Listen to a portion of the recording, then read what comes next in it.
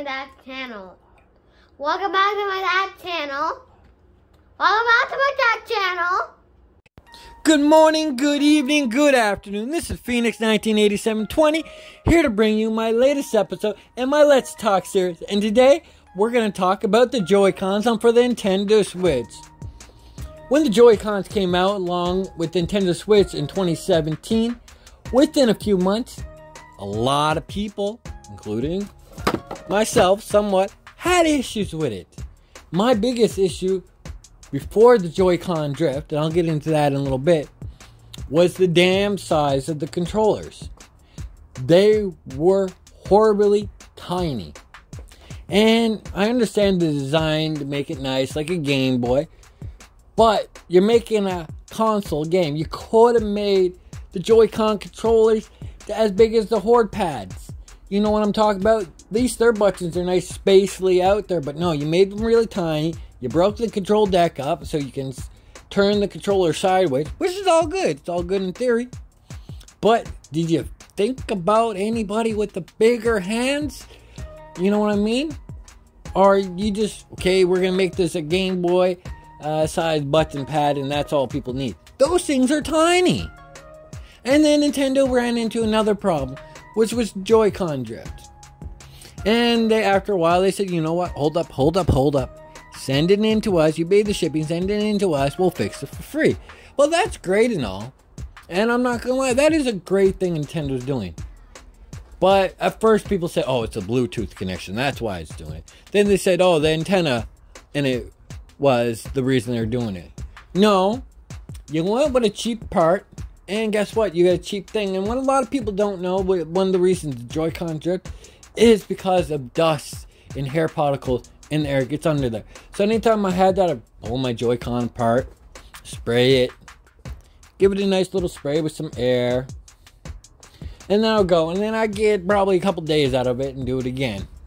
So I went on Amazon. I ordered myself a Joy-Con kit repair, which I end up ordering a couple of them because why not? 20 bucks. I can fix. Anybody around me need Joy-Con fixing? I can fix. And no problem, no problem. I ain't got extra parts to be fixing, but that's besides the point.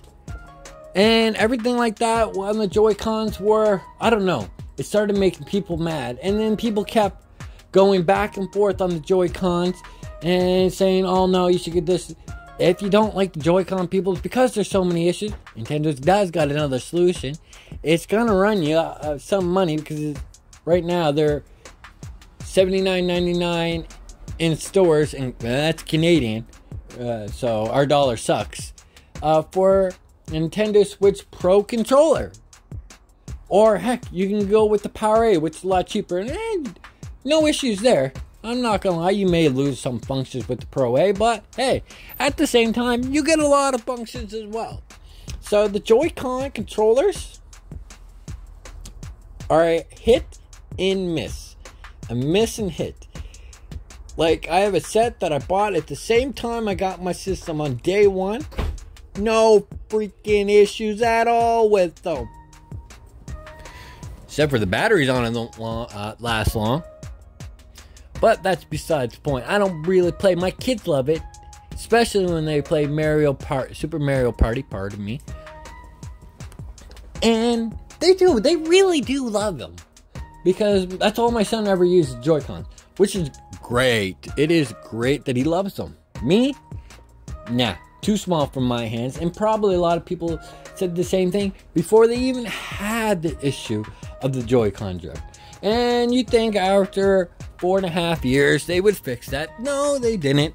And what makes me laugh is Sony PlayStation 5 DualShock controllers. Guess what? They have the same part in them. So Sony's like, yeah, if Nintendo can get away with this stuff, uh, so can we. But yeah, the thing is, Nintendo's got about, I don't know, half a dozen lawsuits, and you guys got probably about three or four lawsuits because of the Joy-Con drift. Now, the Joy-Con drift is not not gonna disappear anytime soon, as long as the Joy-Cons come out. They're not. Would Nintendo revise and put a different type of stick, control stick in it? Probably not, because it's cheaper for them.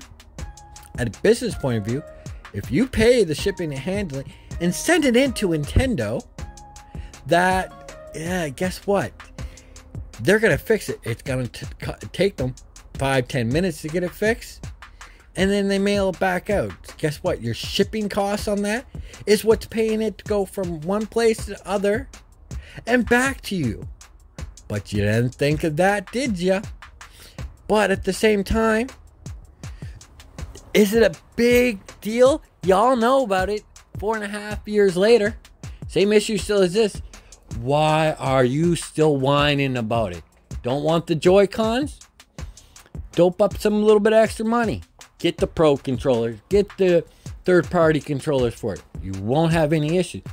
You will be. You won't be able to play um, Arms or uh, Super Mario Party, but don't worry.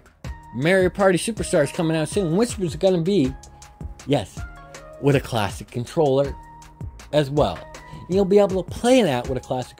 And Nintendo, I don't know, they keep pushing out different type of controllers. Here soon, we're gonna have the Legend of Zelda uh, anniversary controller come out. They probably didn't fix the issue. They just painted it with a different skin, slapped on a sticker, and put it out the door. But guess what? A couple million people are going to go out and buy that controller. But guess what?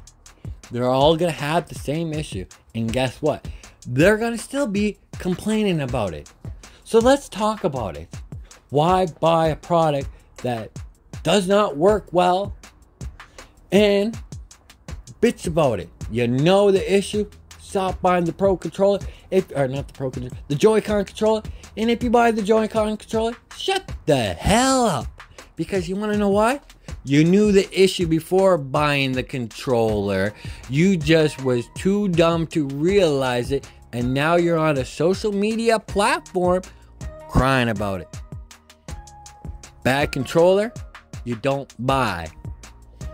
Now, me, I'm not gonna lie. I'm gonna get myself a Legend of Zelda Joy-Cons.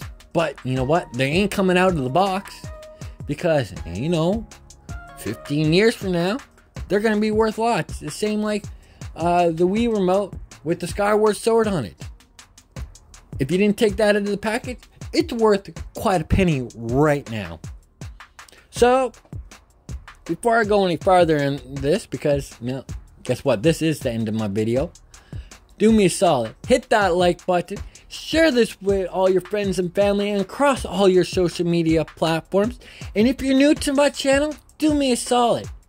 Hit that subscribe button and then click on that notification bell so you can stay up to date with my latest videos. And drop me down a comment below. I would like to hear your thoughts on the Joy-Con. So, until further ado, this is Phoenix 198720 here to say, I hope you guys have a good morning, a good evening, and a good afternoon. Peace.